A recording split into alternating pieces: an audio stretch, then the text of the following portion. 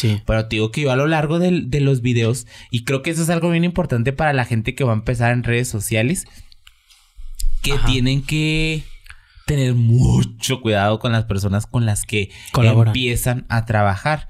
Porque eh, yo a lo largo de mi vida, y esto también lo he platicado en mis videos, entonces no me voy a alargar mucho, eh, este trabajado con, ponle tú que como con tres personas. Y la neta es que las tres personas, no que lo estuvieran haciendo mal, pero te voy a dar un ejemplo. Una de ellas, este, intentó llevarme a un proyecto como más, como más profesional, como de ponerme, me, me contrató, me, me contrató, es un decir porque yo los pagaba, pero me contrató a maquillista, me contrató a este, a un stylish, me contrató varias, como llevarme a un, a un- a algo más profesional en mis videos. Sí. Y la gente, cuando yo saqué eso, lo odió. Pero lo odió de una manera que de verdad me pusieron comentarios bien gachos. Entonces yo dije, pues es que esto no es Aldo Mancinas. Aldo Mancinas es otra cosa, es algo más sencillo, es algo... Entonces eso me fue creando esa inseguridad de que si yo hacía algo diferente, obviamente no volverme a poner maquillaje ni stylish ni nada. O sea, simplemente hacer algo diferente, para mí ya conllevaba, para mi mente era voy a volver a recibir el mismo hate que recibí esa vez que por una u otra cosa intenté cambiar mi contenido. Y como te digo, no es que esta persona lo estuviera haciendo mal, porque después de mí, que yo le dije que yo no iba a hacer eso, lo hizo con otro influencer que es famosísimo y le funcionó súper bien. Ok. Y le fue increíble. ¿Por qué? Porque pues ese, ese- eso no era para mí. No era para mí el hecho de ser más.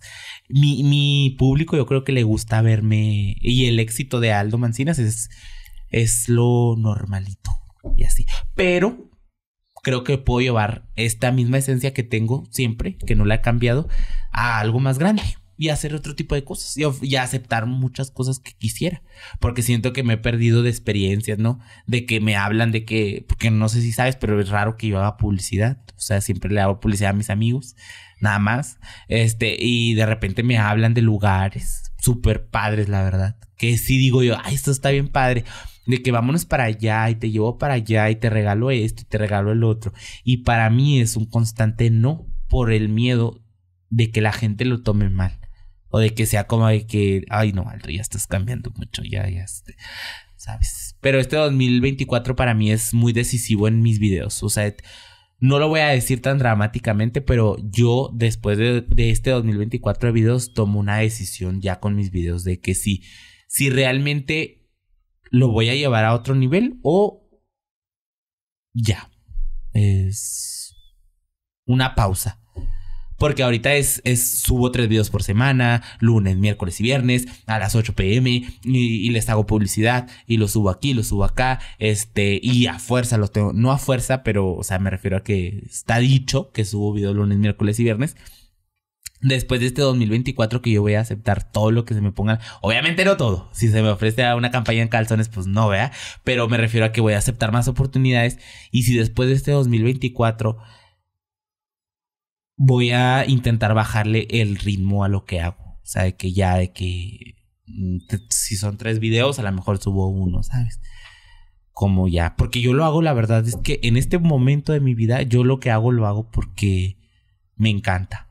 Me encanta hacer videos para la gente y, y siento que tengo una conexión. Pero sí, mucha gente, es que mucha gente dirá que no es un trabajo. Y yo también considero, viendo el trabajo de Pablo, por ejemplo, pues, lo mío no es nada, porque pues yo puedo hacer mis videos a la hora que yo quiera y tengo mucho tiempo libre y todo, pero no deja de serlo. No lo comparo con un trabajo de ocho horas, porque pues no, ni con unas chingotas, porque yo también me las di trabajando así. Este, pero sí, sí conlleva este, pues mucho una tiempo, constancia, un esfuerzo. una Y sí, disciplina. sí te quería hablar de eso porque siento que los creadores de contenido o la gente en general que tiene como que esta conciencia de lo que es eh, un perfil de contenido nutritivo en este caso, peca mucho de satanizar contenido que se siente muy banal. Y te lo voy a decir, o sea, a mí me costó muchísimo encontrar información de ti. Si no fuera por Pablo, la verdad es que me hubiera gustado. De todos modos, siento que ahorita, ahorita voy a abordar, pero siento que vengo con pocas armas para abordar esta conversación, a pesar de que ya tenemos casi, casi las tres horas. eh, que me da mucho gusto que se haya desarrollado así. Tenía fe, tenía fe de que se lograra de esta manera y gracias a Dios se logró. Pero sí, sí lo abordé con mucho miedo el que tú vinieras porque me recordó a mis primeros episodios donde yo no tenía tanta información acerca de las personas que venían. No tenía tanto que abordar, tanto que desarrollar acerca de lo único que conocía. Y era como una pues como aventármelo así, ¿o no? Y ver que salía y, y, y, a veces salía bien, a veces salía mal, pero sentía que contigo tenía que... No podía perder esa oportunidad de, de saber qué iba a suceder, ¿no me explico? Entonces, gracias a, gracias a, tu, a la pareja que, a tu pareja que, que nos une en este caso, que es Pablo, eh, tenía un poco más de bagaje en el cual yo podría llevar la conversación a ciertas cosas que podían llevar a más cosas. Entonces me sentía un poco más seguro en ese sentido, pero de todos modos lo abordaba como, como más Em, con, un poco de miedo. Sí tenía como que ese pendiente, te no te voy a mentir. Y por, por, por tu tipo de contenido. Porque siento que es un contenido que no no aporta mucho como a la persona, sino que es como más tipo de entretenimiento. Lo cual tiene mucho sentido, porque es un contenido que trata acerca de tu vida, tu experiencia y cómo la compartes. Y a lo que voy es que mucha gente termina satanizando ese tipo de contenido, ya que no aporta mucho a la vida de las personas, solo entretenimiento, pero no ven que detrás de eso hay una constancia, hay muchos años de trayectoria, que ese contenido pues obviamente trata eh, eh, em, una tiene un trasfondo detrás de, ok, tengo esta idea, ¿cómo la desarrollo? ¿Cómo, ¿Qué palabras escojo? Eh, el tipo de personaje que voy a abordar para abordar esa conversación. ¿Qué exagero? ¿Qué minimizo? ¿Qué borro? ¿Qué meto? Y luego hacerlo, publicarlo, distribuirlo. Es una constancia que genuinamente la gente la nota o la percibe como un trabajo X pero que si se mete a hacerlo, de verdad cuesta. Tal vez no 8 horas diarias, pero sí 6, 4. Y también lo que eh, algo que me llamó mucho la atención de ti es que eh, tu contenido depende enteramente de lo que tú vives y de lo que vive tu familia. Entonces, depender de eso, explotarlo, saber marginarlo, saber qué decir, cómo decirlo, cuándo decirlo para que te alcance el contenido, para generar lo que tengas que generar dentro de tus días establecidos, es verdaderamente algo que es digno de admirar para sacar adelante, sobre todo con seis años de experiencia y que todo se dé para lograr esos seis años. Sí, no, es increíble, ¿eh? es increíble como... Es que fíjate que a mí Dios me ayuda mucho. Bueno, no sé qué crea la gente, pero bueno, a mí Dios, en mi caso, yo, o algo, no sé, me ayuda demasiado, de verdad, en, en, ideas, en, cómo hacerlo, o sea, no sé, o sea, yo, yo creo Pero a ver, ¿crees que es algo de ti o crees que es algo que sucede? Porque tiene que haber un porcentaje de, ok, tengo un 10% del video, vamos a hacer el video con el 100, con el 90% de experiencia que tengo, con todos los videos que he hecho para terminar el trabajo. Sí, yo creo que sí. ¿Cómo funciona el truco? o sea, a veces es más, a veces es menos, qué tanto le metes, qué tanto te, te asocias a ti el logro y qué tanto le asocias a la historia que te brindan para poder hacer el contenido. Ay, es que el es que sí, sí, caen historias muy padres. O sea, hay una que voy a subir que para cuando salga esto ya, ya va a estar, pero no te miento, es... Es que estoy así de que, ay, a ver, ya viene el video del viernes. Este, a ver, ¿qué ha pasado en la casa? Mm, no, pues nada grande. Y de repente pasa, de verdad, de verdad. Ya me siento como un invitado que tuviste que también dice cosas así como de que, oye, no, pero es que es de verdad, o sea, de verdad, o sea, las cosas para mí siempre llegan muy bien, o sea, todo en mis videos siempre se ha acomodado y la gente se sorprende mucho de mis amigos de todo de que, Aldo, ¿cómo es posible? Obviamente también recibo ayuda de mis amigos, ya no lo hago tanto, pero hubo un tiempo en el que mis amigos, que las historias eran más como mías. Sí. Que yo decía, Mm, pues no. O sea, yo ya no tengo que platicar. Y mis amigos de que, ay, no, fíjate que a mí me pasó tal cosa y que no sé qué. Yo decía, bueno. Y al principio lo empecé a platicar como de que, ah, miren, a Danilo le pasó tal cosa y así. Y a la gente no le interesaba. Entonces ya después fue como que, bueno, si tú dices que en el antro te caíste y te recogieron y te llevaron en otro carro, me pasó a mí. Entonces ya, ya, ya mis amigos me ayudaban así con las historias. En, hace mucho. O sea, y ahorita ya, pues, pues no. Pero, pues sí.